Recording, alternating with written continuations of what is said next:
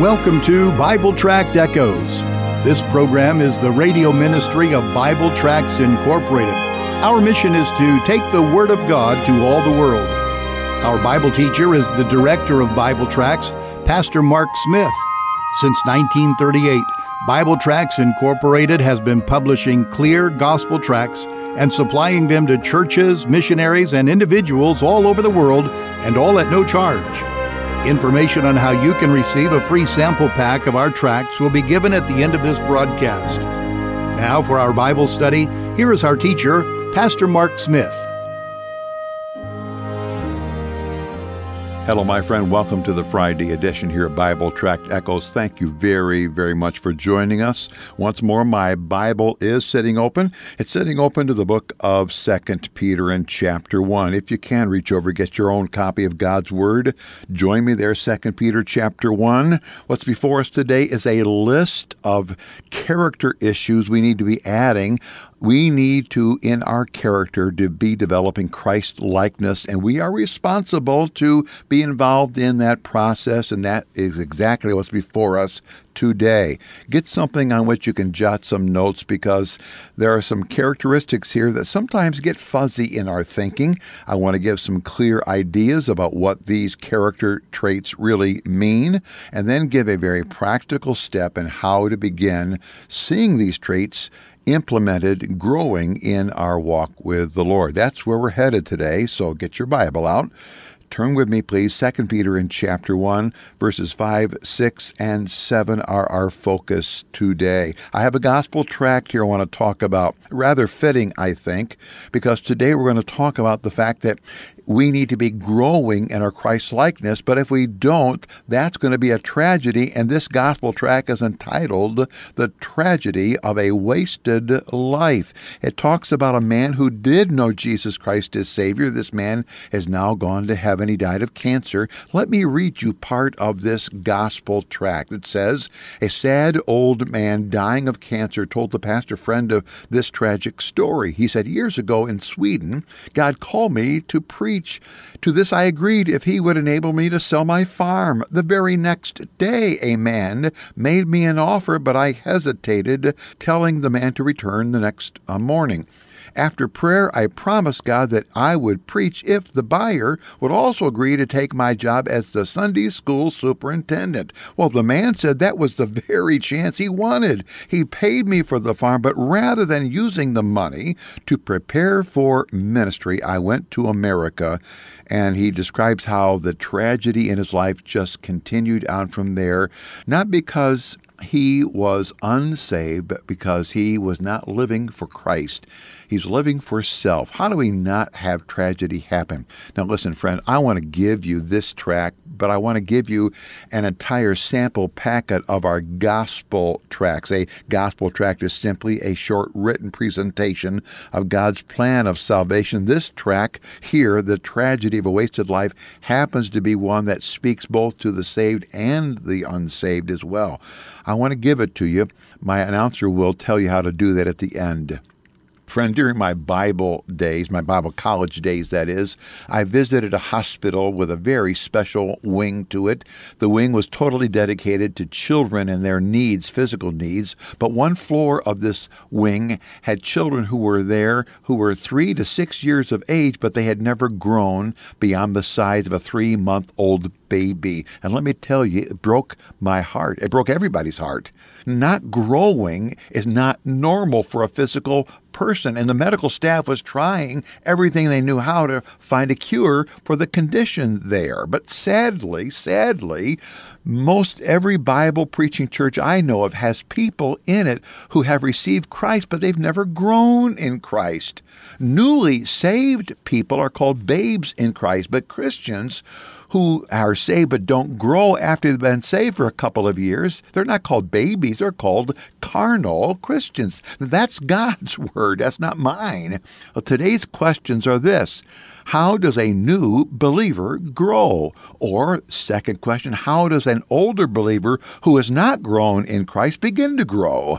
Well, let's provide some really clear answers for that today here from 2 Peter and chapter 1. Please join me here with your Bible and pen open. If you can stay to the end of the program, my announcer will give some contact information. Please be ready for that. I want to give you that sample packet of gospel tracts.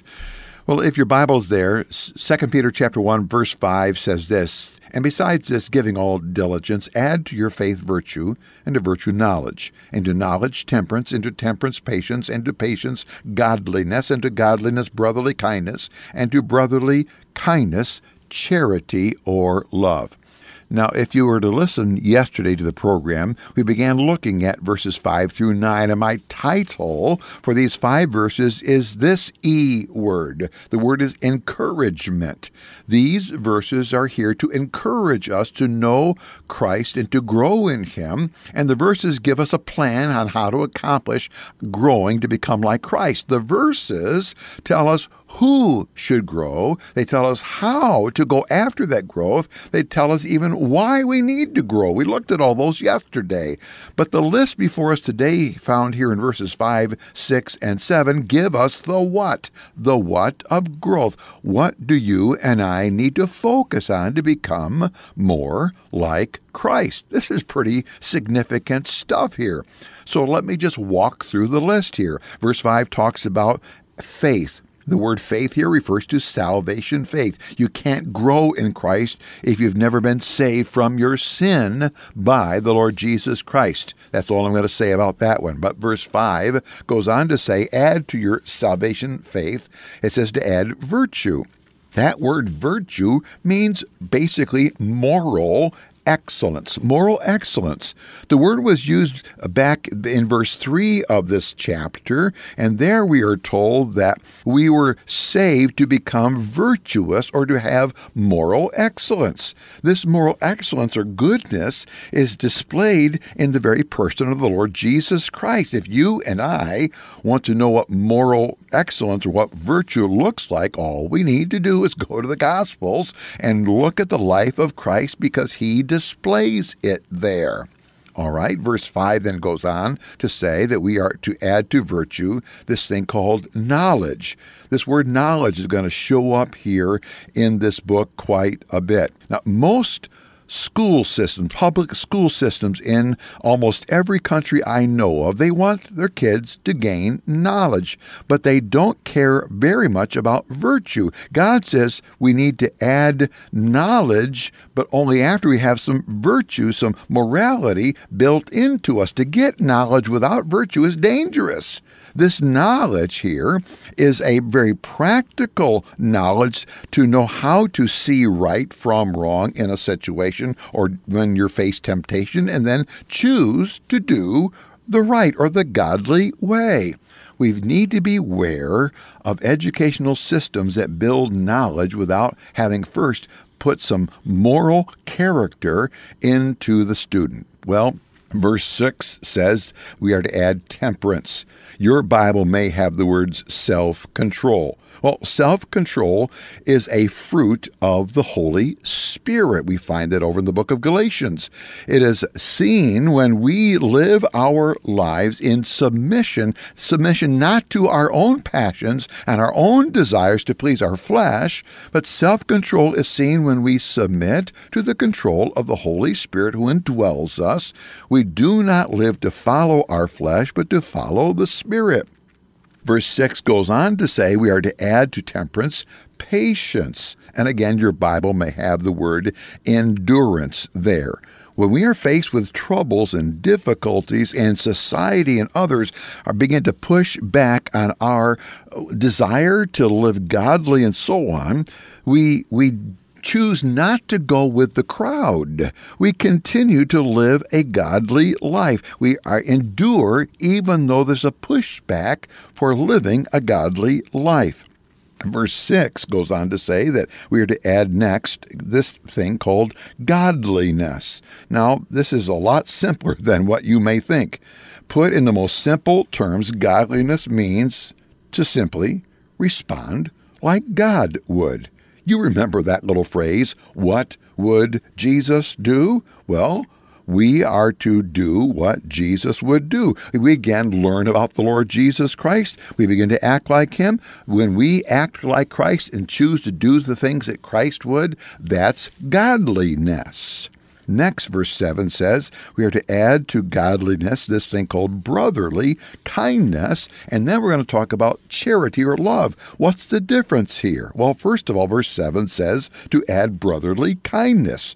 Brotherly kindness is seen when we possess the insight, have the sense to see what are the needs that other people have that are around us, people that we are responsible for, and then we work to help those needs to get met rather than meeting our own needs. In the book of 1 John chapter 4, there it talks about you and I saying that we love God who we can't see, while yet we see our brother in need we don't do a single thing. We don't lift a single finger to help him have his needs met. How in the world can we say we love God who we can't see when we see our brother, whether it's our physical brother or spiritual brother in need, and don't do anything to help them? We see them. That's brotherly kindness. But finally, verse 7 says that we are to add to brotherly kindness charity or love. This is the agape love here. This goes beyond brotherly love now, for brotherly love, we have a responsibility to our earthly brother. We have a responsibility to our spiritual brother. Meeting their needs is simply brotherly love. But when we reach out to people we don't know and people that we are not responsible for, they're just people in need, and we show them grace and mercy, now we're beginning to deal with agape love. We're dealing with a love, a level of love displayed by the Lord Jesus Christ. Uh, you got to memorize, if you haven't, you got to memorize Romans 5 8. But God demonstrated his love toward us. While we were yet sinners, Christ died for us. Jesus did not wait for before to, for us to get gussied up before he began to love us. God loved us in our stink and stench of our sinfulness. He's loved us from before the foundation of the world. And while we were still in our stench of sinfulness, Christ died for us. That's love. And that's where we're headed in our character for Christ. All right, here's what we need to do now. How do we make this practical? Well, you start with virtue. I'm assuming you know Christ as Savior. You got to start there if you don't, but start with virtue. Find two verses that speak of Christ like moral excellence. Memorize them and begin to pray, asking the indwelling Holy Spirit to help build this character trait into your life. Ask the Spirit to give you opportunities each and every day to choose virtue over pleasing your flesh. Do this a couple of weeks and then move on to the next trait.